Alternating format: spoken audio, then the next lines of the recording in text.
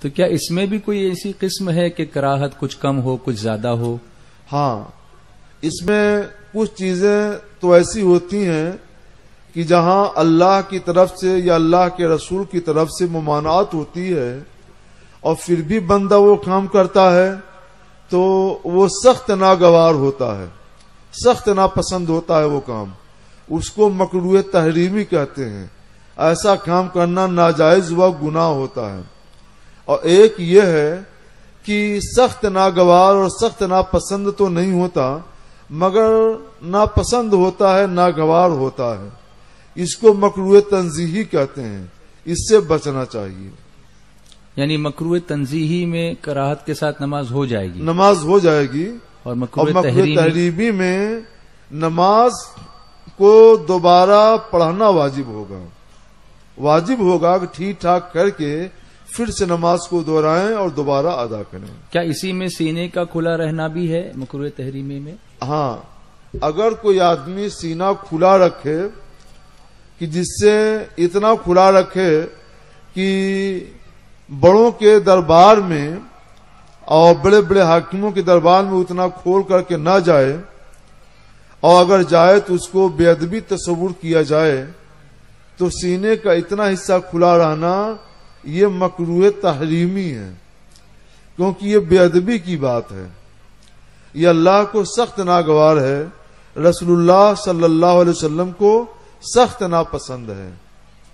تو یہ مکروح تحریمی ہے، ناجائز ہے۔ اور حکم یہ ہے کہ اس کو ٹھیک کر کے گلے تک یہاں تک بند کر لیں اور اس کے بعد دوبارہ اس نماز کو پڑھیں۔ تو یہ جو عوام میں مشہور ہے کہ بٹن نہیں لگانے سے مکرو تحریمی ہوتی ہے تو اس کا اور جو آپ نے جواب ارشاد فرمایا اس کا کیا تعلق ہے؟ بٹن لگانے سے کوئی تعلق ہے یا ہاں نہیں بٹن لگانے سے تعلق ہے؟ جی۔ اگر بٹن نہیں لگا رہے گا تو عام طور پہ سینہ کھل جائے گا۔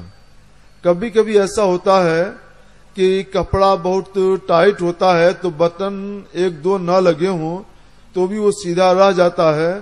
اور سینے کی ہڈی سینہ نہیں کھلتا مگر ایسا بہت کم ہوتا ہے۔ عام طور پر یہی ہے کہ اگر دو بٹن کھل جائے تو سینہ کھل جائے گا۔ اور کچھ لوگ تو قصدن موڑ لیا کرتے ہیں اور سینہ کھول دیا کرتے ہیں۔ جی۔ تو یہی صورت سخت ناگواری کی ہے اور یہی صورت مکرو تحریمی کی بنتی ہے۔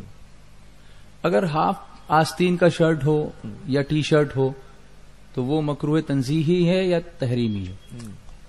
ہاف آستین کی قمیص ہو یا ٹی شرٹ ہو یا کوئی بھی کپڑا ہو کہ اس کا معمول ہی یہی ہے کہ ہاف آستین تک ہی اس کو رکھتے ہیں اس سے زیادہ نہیں رکھتے ہیں۔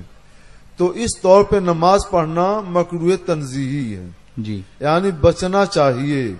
بہتر یہ ہے کہ پورے ہاتھ کا فل ہاتھ کا کپڑا پہنے اور نماز پڑھیں۔ کہ اس میں ادب زیادہ ہے اور بارگاہ الہی کے ادب کے قریب یہ زیادہ ہے۔ لیکن جی۔ آپ لوگ اپنے طور پر کوئی مسئلہ نہ س- بنا لیا کریں۔ جی۔ اب یہ پھول آستین ہے۔ پھول آستین کا حکم الگ ہے۔ اس کا حکم یہ ہے کہ اگر کوئی آدمی آدھی کلائی تک یعنی اتنا ہا- ہاتھ آستین چڑھا لے تو اب اس کی نماز مکرو تحریمی ہوگی۔ جی۔ کیونکہ جب آستین پوری ہوتی ہے تو معمول یہی ہے کہ اس کو پورا رکھا جاتا ہے اور آستین جب چڑھائی جاتی ہے تو کسی ناپسند کام کے وقت چڑھائی جاتی ہے۔ جی۔ مثلا کسی سے لڑائی جھگڑا کرنا ہو کوئی اس طرح کی بات ہو تو اس سے یہ لگے گا کہ جیسے آپ اللہ کی بارگاہ میں ایسے کر کے جیسے لڑنے کے لیے جا رہے ہوں۔ تو یہ چیز اللہ کو سخت ناپسند ہے کہ تم اس طور پہ اللہ کی بارگاہ میں حاضر ہو رہے ہو۔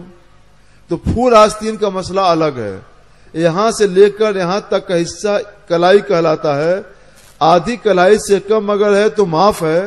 آدھی کلائی یا اس سے زیادہ ہے تو یہ ناگوار ہے مکرو تحریمی ہے۔ اللہ تعالیٰ کو سخت ناپسند ہے۔